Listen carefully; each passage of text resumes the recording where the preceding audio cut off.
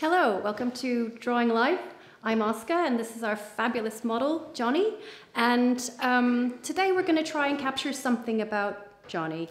I want to see how you see him and how you would like to draw him. So there's just trying to pick out something about this great look that Johnny has put on today with his cowboy hat and this great sort of lounging robe. Looks like he's ready to kind of tour Southern Europe. And we've got this great sort of pattern on his bathrobe. And so I thought if we'd look at him like a mountain, we can sort of draw the top first and slope our way down to his feet.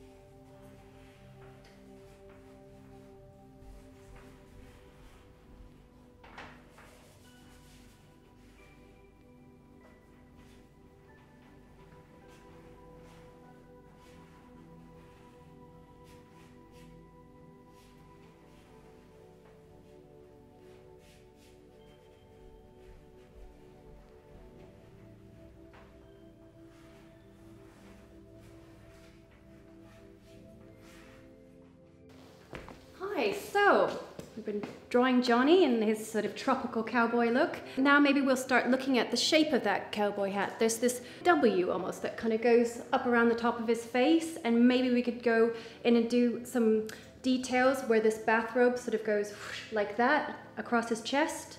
And then we've got his hands, so maybe you've got some nice angles for his hands and maybe his feet are coming down from your robe And if you look at the shape of the hands and the and the feet, you can kind of try and just don't worry about making all the fingers. Just try and do a, a line for the whole arm. Sometimes that's very effective, like a like a stick figure almost. If you can do that, and then you can add some of the sloping shapes over the top.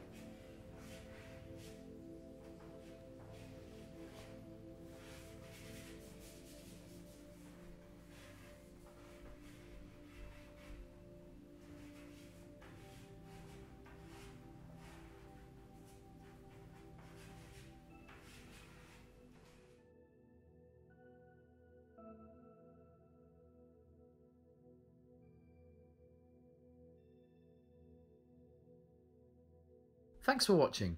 You can send us your artwork at Drawing Life UK or info at drawinglife.org. Subscribe to Drawing Life to view more studio videos, or click here to view another pose.